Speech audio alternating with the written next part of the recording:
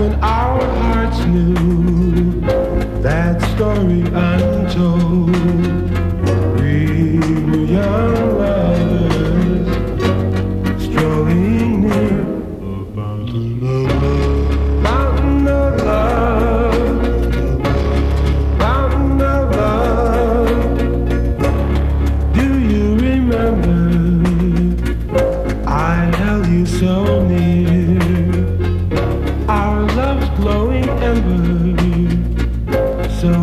precious and dear. We were young.